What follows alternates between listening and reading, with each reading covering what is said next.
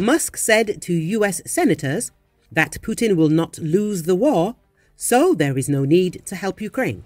Elon Musk told US Republican senators that there is not a single chance that Russian President Vladimir Putin could lose the war in Ukraine. According to Bloomberg, Musk made these comments during a discussion on Platform X, which included opponents of the Ukraine aid bill.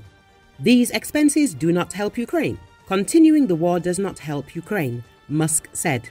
In addition, the scandalous billionaire decided to justify Putin, saying that the Russian president is being pressured to bring the war to an end.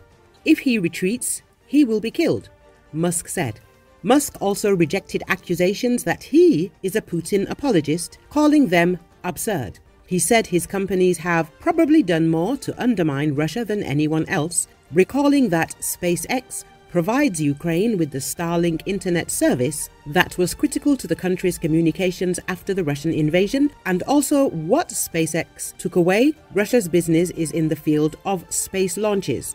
Musk also said his interest is in stopping the loss of life on both sides of the war, adding that he questions the wisdom of seeking to remove Putin. Those who want regime change in Russia should think about who is the person who can eliminate Putin, and will this person be a peacemaker? Probably not, Musk said, adding that such a person would most likely be even tougher than Putin.